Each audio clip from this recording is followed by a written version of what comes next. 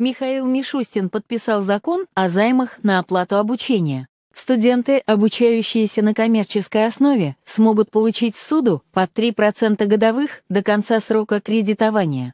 Ранее такие займы выдавали минимум под 8%.